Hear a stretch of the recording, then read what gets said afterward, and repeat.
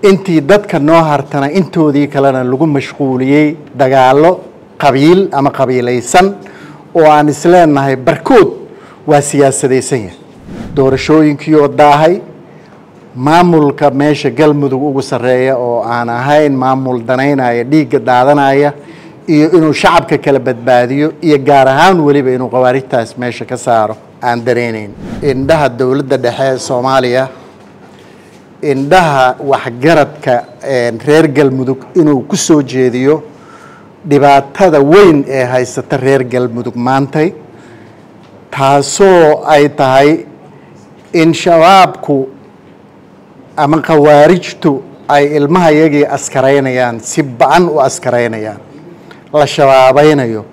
Wax nagu harayna aysan jirin. Intii dadka noo hartana intoodii kalena lagu mashquuliyey dagaallo qabiil ama qabiilaysan oo aan isleenahay barkood waa siyaasadaysan yahay. Khawaarijtu aada iyo aada ayay dadkeennii u dhibaataynayaan.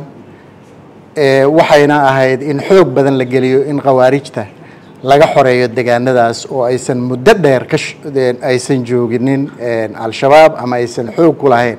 Hadda ay ku soo xoogeysteen sababtuna ay tahay doorashooyinkii oo daahay maamulka meesha galmudug ugu sarreeya oo aan ahayn maamul danaynaya dhiigga daadanaya iyo inuu shacabka kala badbaadiyo iyo gaar ahaan weliba inuu khawaarijtaas meesha ka saaro aan dareenayn.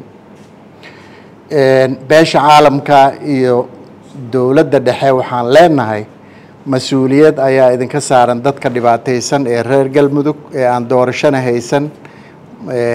Wax mashaariica ama kaabayaashii dhaqaalaha ah oo shaqaynayahuna aysan maanta jirinin.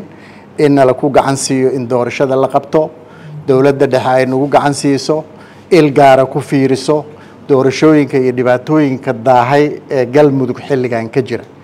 Maxaa dhici kara haddii dowladda dhexe aysan maaragtay il gaara ku fiirin? Muxuu ahaa maamuladaas waktigu ka dhacay gaar ahaan kan galmudug. Waxaa dhici kara inay aada u sii ballaarato in shabaabku uu cidlaysto dhulkaas oo aan hadda maamul ka jirin halkaasuna ay noqoto halka dowlad kastoo soomaaliya la dhiso laga dumiyo.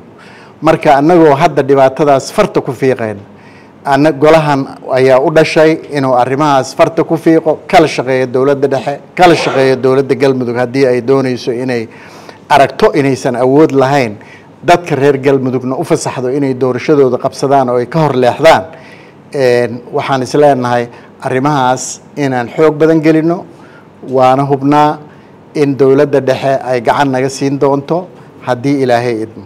Isbitaalka alcaasima ayaa u soo kordhiyey bajaajyada gobolka banaadir. Adeega bajaaj kaabe oo kaarar ay ku helayaan waana qiimo dhimis boqolkiiba konton.